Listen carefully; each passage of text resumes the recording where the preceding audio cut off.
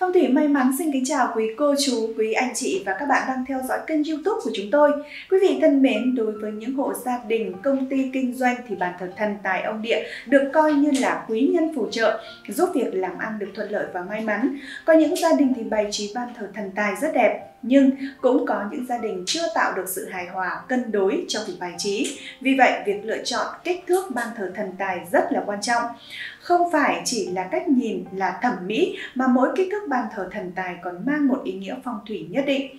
Phong thủy may mắn mời anh chị cùng tìm hiểu ý nghĩa của các chỉ số kích thước trên ban thờ thần tài ngay sau đây. Thứ nhất là lựa chọn kích thước ban thần tài như thế nào. Trên thực tế thì các đồ nội thất cho gia đình đều được thiết kế với những kích thước nhất định, mang lại ý nghĩa phong thủy cao. Bàn thờ thần tài thì cũng vậy. Khi anh chị chọn mua bàn thờ thần tài, người bán sẽ tư vấn cho anh chị các kích thước bàn thờ phù hợp với không gian nhà và đem lại may mắn tài lộc. Nhìn chung, đa phần kích thước bàn thờ thần tài hiện nay đều được làm theo kích thước lỗ ban. Đây là loại thước chuẩn với các cung phú quý tài lộc giúp gia chủ làm ăn phát đạt. Trên thước lỗ ban có các cung vận mệnh, kích thước ban thờ to nhỏ dựa trên các cung trên thước lỗ ban. Vậy, lựa chọn kích thước ban thờ như thế nào để chuẩn phong thủy giúp tài lộc về cho gia chủ? Trên thị trường hiện nay thì có 3 loại kích thước ban thờ thần tài được sử dụng nhiều nhất. Ban thờ cỡ 41 x 48 cm, ban thờ cỡ 48 x 61 cm, ban thờ cỡ 61 x 69 cm. Các số đo bàn thờ thần tài ông điện chuẩn phong thủy. Số đo bàn thờ ở đây là các số đo của các chiều ngang, sâu, cao của bàn thờ. Bàn thờ ông địa có kích thước chuẩn phong thủy là bàn thờ có số đo ngang, nhân cao, nhân sâu thuộc những cung và không có số đo nào thuộc cung xấu. Kích thước 48 x 48 x 68 ngang, sâu, cao. Nếu bạn đang muốn thỉnh một mẫu bàn thờ có kích thước nhỏ nhưng phải đúng với phong thủy thì 48 x 48 x 68 là kích thước tốt nhất dành cho bạn. Đây là kích cỡ bàn thờ có các số đo đều nằm trong các cung số tốt trong thước lỗ bàn. Số đo 48 thuộc cung hỷ sự có nhiều chuyện vui và nằm trong khoảng vượng tốt. Số đo 68 thuộc cung Thiêm Đinh có thêm con trai và nằm trong khoảng hưng tốt. Kích thước 61 x 61 x 88 ngang sâu cao. Nếu bạn muốn mua một chiếc bàn thờ thần tài cỡ vừa có kích thước chuẩn phong thủy thì 60 x 60 x 88 là kích thước phù hợp nhất dành cho bạn. Đây cũng là mẫu có các số đo thuộc các cung tốt trong thước lỗ bạc Số đo 61 thuộc cung hoại tài, được của cải bất ngờ không nằm trong dự tính, nằm trong khoảng quan tốt. Số đo 88 thuộc cung tiến bảo được của quý của cải gia tăng không ngừng, nằm trong khoảng vượng tốt. Kích thước 68 x 68 x 108 ngang sâu cao. Nếu bạn đang có nhu cầu tìm mua một mẫu bàn thờ ông địa cỡ trung có số đo chuẩn phong thủy thì 68 x 68 x 98 là một số đo rất đẹp dành cho bạn. Những con số này cũng đều thuộc những cung tốt và mang lại nhiều may mắn tài lộc cho gia chủ. Số đo 68 thuộc cung Thiêm Đinh có thêm con trai nằm trong khoảng hưng tốt. Số đo 108 thuộc cung Hưng Vượng làm ăn thịnh vượng, nằm trong khoảng hưng rất tốt. Kích thước 81 x 81 x 108 ngang sâu cao nếu quý khách có nhu cầu mua một mẫu bàn thờ có kích thước lớn để phù hợp với không gian nhà mới, sang trọng mà bạn vừa mua hay là xây xong thì kích thước 81 x 81 x 108 là một kích thước rất đẹp. Đây cũng là các số đo có cung tốt, mang nhiều ý nghĩa may mắn tài lộc. Số đo 81 thuộc cung đăng khoa thi cử đỗ đạt học hành đến nơi đến chốn nằm trong khoảng đinh tốt.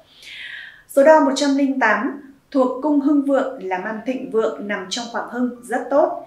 Trên đây là một số kích thước bàn thờ chuẩn phong thủy tiêu biểu ở các mức độ bàn thờ từ nhỏ đến lớn. Ngoài ra còn có khá nhiều kích thước khác cũng chuẩn phong thủy như 60 x 60 x 88, 68 x 68 x 107, 68 x 68 x 133, 81 x 81 x 148. Rất nhiều tùy vào thiết kế của bàn thờ chúng ta có thể lựa chọn số đo phù hợp. Trong tự nhiên thì có rất nhiều loại gỗ có thể làm bàn thờ chất lượng như là gỗ gõ đỏ, lim, chắc hoặc có thể dùng loại gỗ tầm trung như là gỗ xoan đào rồi tùy thuộc vào điều kiện của gia chủ để lựa chọn loại ban thờ thích hợp nhất. Lựa chọn loại gỗ nào để làm ban thờ đem lại vượng tài cho gia chủ? Gỗ đỏ đây là loại gỗ không chỉ có chất lượng tốt, dễ gia công, không hề bị ảnh hưởng bởi thời tiết mà nó còn là loại gỗ có màu sắc vân gỗ cực kỳ đẹp, đem lại giá trị cao trong sản xuất những đồ dùng nội thất hay là những tác phẩm điêu khắc. Hiện nay, gỗ gõ đỏ được xếp vào nhóm một các loại gỗ quý cùng với gỗ hương, pơ mu, mun, xến, táo, muông đen. Sở dĩ gỗ gõ đỏ được ưa chuộng để làm bàn thờ thần tài vì chất liệu gỗ cực phẩm bên cạnh đó màu sắc vân gỗ được xem là giống màu của Phật Pháp. Gỗ thông được ứng dụng mạnh mẽ trong thi công đồ gỗ, gỗ thông nguyên liệu có những ưu điểm vượt trội không thể phủ nhận như là hệ vân gỗ tự nhiên, đẹp mắt, có giá trị thẩm mỹ cao. Tâm gỗ có khả năng kháng sâu tự nhiên nên độ bền và tuổi thọ có thể lên đến 20 năm. Giá thành thì rẻ, nguồn nguyên liệu sẵn có nên tiết kiệm được chi phí trung gian. Chính những đặc tính vượt trội trên nên gỗ thông được sử dụng khá nhiều để làm ban thờ thần tài. Gỗ pơ mu Trong nội thất, gỗ pơ mu thường được dùng để tạc tượng điêu khắc tranh được cho là rất đẹp vì vân gỗ sáng. Nên pơ mu đồng màu vàng và mịn màng, chất gỗ cũng được cho là không cứng lắm cho nên rất thích hợp đục các loại tượng như di lạc, quan công, bộ tam đa. Ngoài ra thì nhờ mùi hương của chúng nên việc trưng các bức điêu khắc làm ban thờ thần tài từ loại gỗ này rất được ưa chuộng. Gỗ xoan Gỗ xoan đào có màu cánh rán đặc trưng, đường vân thì rõ nét, bề mặt gỗ mịn, rất phù hợp với những không gian nội thất ngày nay. Thuộc loại gỗ nhẹ nhưng sau quá trình tẩm sấy kỹ càng, gỗ có độ cứng rất tốt, khả năng chịu nhiệt, chống nước, chống ẩm mốc tốt. Ngoài ra thì gỗ còn có khả năng chống lại sự xâm hại của mối mọt. Gỗ xoan đào có hương thơm tự nhiên, tạo cảm giác dễ chịu và thoải mái trong quá trình sử dụng. Gỗ xoan đào có giá thành hợp lý, do vậy những sản phẩm nội thất được làm từ gỗ xoan có giá phù hợp với túi tiền của phần lớn người dân Việt Nam. Gỗ chắc với đặc tính bền, cứng trong các điều kiện mưa nắng thất thường đều không làm gỗ bị cong vênh mối mọt. Sản phẩm làm từ gỗ chắc cho tuổi thọ lên đến hàng trăm năm. Gỗ chắc với thớ gỗ mịn, vân to và chìm, nhìn trực diện như là đám mây. Gỗ có mùi chua nhưng không hăng, khi đốt lên có mùi thơm dịu. Đây là loại gỗ có giá trị cao về kinh tế. Gỗ chắc cũng thuộc nhóm một các loại gỗ quý. Trong chắc cũng chia ra làm rất nhiều loại chắc đen, chắc đỏ, chắc dây, chắc nam phi. Gỗ hương Chất liệu gỗ hương được sử dụng để làm những đồ vật lớn có giá trị và giá thành gỗ cao. Tuy nhiên thì một vài sản phẩm bàn thờ ông địa thần tài vẫn được làm bằng gỗ hương trên thị trường. Người dùng thì cần phải phân biệt được vì có nhiều loại gỗ hương, trong đó có những loại gỗ hương phân khúc ở tầm thấp nhưng cũng được xếp vào dạng gỗ hương. Ở thị trường Việt Nam thì gỗ hương ta, hương Đắk Lắk là loại gỗ có giá trị và nguồn gỗ của loại này gần như là đã hết hoặc không sử dụng cho việc làm bàn thờ ông địa thần tài. Hai loại gỗ hương khác phổ biến ở thị trường Việt Nam, đặc biệt là sử dụng trong việc đóng những bộ bàn ghế phòng khách, đó là gỗ hương vân và hương đá. Gỗ căm xe, một chất liệu gỗ rắn chắc phân khúc ở tầm trung có giá phù hợp, thường được sử dụng kết hợp trong việc làm những sản phẩm bàn thờ ông địa thần tài.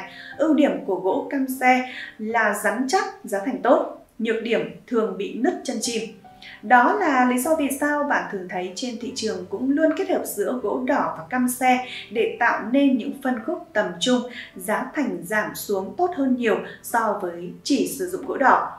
Cột căm xe mặt gỗ đỏ thường được kết hợp chuẩn nhất vì mặt gõ đỏ sẽ tạo độ đẹp rộng và không có tình trạng nứt nẻ của gỗ. Quý vị thân mến, thần tài là vị thần trông coi tiền tài vàng bạc mang đặc trưng của công việc buôn bán kinh tế. Ông Địa là vị thần hộ mệnh của xóm làng, cai quản vùng trời đất đai phù hộ cho con người và gia súc trong xóm làng mùa màng bội thu. Ông Địa mang đặc trưng của kinh tế và nhà nông. Vì vậy, vị trí đặt bàn thờ thần tài trong nhà như thế nào cho chuẩn thì ít người biết đến. Theo các chuyên gia phong thủy, vị trí đặt bàn thờ thần tài trong nhà cần phải đúng hướng và vị trí thì mới tạo nên phong thủy tốt giúp cho tài lộc trong gia đình bạn dồi dào. Phong thủy may mắn sẽ chia sẻ nguyên tắc đặt bàn thờ thần tài ngay sau đây. Chọn hướng đặt bàn thờ thần tài, nguyên tắc đặt bàn thờ thần tài ông địa là phải vị trí quan sát được hết sự ra vào của khách. Có hai hướng nên chú ý để chọn khi đặt bàn thờ. Một là theo hướng tốt của chủ nhà, hai là theo hướng đón khí lộc bên ngoài khi vào nhà. Vì vậy, khi đặt bàn thờ thần tài nên chọn lấy các cung thiên lộc quý nhân để có thể thu nhận được nhiều tài lộc cho cửa hàng kinh doanh. Thiên Lộc là phương lâm quan của Tuế Can, nhà có cửa chính nằm trong cung Thiên Lộc rất tốt may mắn. Bàn thờ thần tài nếu chọn cung Thiên Lộc sẽ mang lại những may mắn về tiền bạc, gia sản, thăng tiến, nhà cửa vượng. Không những thế, đặt bàn thờ thần tài nằm trong cung này sẽ khiến cho gia chủ cơ địa tốt tươi, thông minh, tuấn tú, lại khéo léo, tài năng kinh doanh giỏi, làm ăn tiến phát. Vì vậy, hướng thiên lộc là được coi là hướng tốt nhất để đặt bàn thờ thần tài. Trước khi chọn hướng an vị bàn thờ thần tài thì bạn cũng nên quan tâm tránh các hướng có sự ảnh hưởng, có sao không vong, tử tuyệt. Nếu gặp không vong, tử tuyệt thì khí tán, tài không tụ, có lộc cũng như không. Nhiều người cho rằng hướng thiên lộc phạm các sao không vong, tử tuyệt, gọi là hướng tuyệt lộc. Dù tài sản có như nước rồi cũng tiêu tan hết. Cung quý nhân quý nhân thiên ất là vị thần đứng đầu các thần, hết sức linh mà có thể chế ngự được mọi chỗ động trí tôn mà có thể chấn được phi phù. Nhà có chính môn gia quý là đại cát khánh, gia đạo bình an, hòa thuận, hỉ khí đầy nhà, luôn gặp may mắn. Quý nhân là sao cứu trợ là thần giải tai ách, nên nhà gia quý nhân là gặp việc có người giúp đỡ, gặp tai ách có người giải cứu, gặp hung hóa cát. Sự nghiệp hiển vinh, công danh thì thanh đạt, dễ thăng quan tiến chức, học hành thi cử nhất nhất đều tốt đẹp quý nhân gặp sinh vượng thường sinh người hiếu lễ tướng mạo phi phàm tính tình nhanh nhẹ lý lẽ phân minh thẳng thắn mà ôn hòa khôi ngô tuấn tú Lưu ý khi đặt bàn thờ phải sử dụng la bàn để xác định rõ hai cung ngày tùy theo tuổi của chủ nhà. Trước mặt bàn thờ phải quang đãng sạch sẽ. Nếu có thờ thần cóc, thiềm thử tốt nhất là nên đặt chéo với cửa ra vào, tránh đặt đối diện cửa. Cách bài trí bàn thờ cúng thần tài trong cùng bàn thờ, dán trên vách là một tấm bài vị, sau lưng bàn thờ thần tài cần phải là vách tường chắc chắn, không được trổ cửa sổ hay là đục lỗ, vì làm như vậy thì tài vận không tụ được. Trong những trường hợp không thể đặt bàn thờ dựa lưng vào tường, do phải chọn hướng thì cần phải tạo vách để tránh góc nhọn sau lưng bàn thờ và giúp bàn thờ nằm vững chắc. Hai bên, bên trái, nguyên tắc là từ ngoài nhìn vào là ông thần tài, bên phải là thổ địa, thường là bàn thờ thần tài, thờ chung với ông thổ địa. Ở giữa hai ông là một hũ gạo, một hũ muối, một hũ nước đầy. Ba hũ này chỉ đến cuối năm mới được thay. Giữa bàn thờ đặt một bát nhang và cần tránh động bát nhang khi lau chùi bàn thờ. Lò hoa được đặt bên tay phải, đĩa trái cây đặt bên tay trái Hoa cúng thần tài nên là hoa hồng, hoa cúc, hoa đồng tiền, trái cây thì nên chọn ngũ quả. Xếp 5 chén nước thành hình chữ thập để tượng trưng cho ngũ phương và hành phát sinh, phát triển. Ông cóc để bên trái. Ngoài cùng trên mặt đất nên chọn một cái bát hoặc là đĩa sâu sứ hoặc là thủy tinh thật đẹp, đổ đầy nước và rắc những cánh hoa hồng trên mặt. Đĩa hoa này biểu trưng cho việc giữ tiền bạc khỏi trôi đi. Bên trên bàn thờ thần tài thì có thể đặt thêm tượng Phật Di Lặc, Di Lặc Phật Vương sẽ quản lý và ngăn chặn các vị thần làm điều sai trái. Ngoài cách chọn vị trí đặt bàn thờ thần tài trong nhà thì các gia chủ cần lau dọn bàn thờ thần tài thường xuyên bởi vị thần này ưa thơm tho sạch sẽ. Chỉ có như vậy thì các vị thần mới phù hộ độ trì và mang lại tài lộc đến cho gia chủ. Những lưu ý tránh mất lộc khi thờ thần tài Nhớ rửa thần tài bằng nước lá bưởi cho sạch trước khi đặt lên bàn thờ. Lau bàn thờ bằng nước hoa bưởi vào ngày mùng 10 tháng riêng, ngày 14 âm lịch và ngày cuối tháng. Khăn tắm cho thần tài và khăn lau bàn thờ phải sạch sẽ, không được sử dụng vào việc khác. Giữ thần tài sạch sẽ bằng cách lau rửa thường xuyên, không gian trước mặt bàn thờ phải đảm bảo sạch sẽ, quang đãng, tránh vết nhơ bẩn. Phía sau lưng bàn thờ thần tài phải là vách tường chắc chắn và kín để hội tụ được tài vận nên lựa chọn hoa cúc, hoa hồng, hoa đồng tiền để cúng thần tài, còn trái cây thì nên chọn ngũ quả. Khi cúng thần tài nên lưu ý dùng nước sạch và đảm bảo chén luôn được sạch sẽ. Cần lưu ý xếp 5 chén nước thành hình chữ thập tượng trưng cho ngũ phương và ngũ hành phát triển.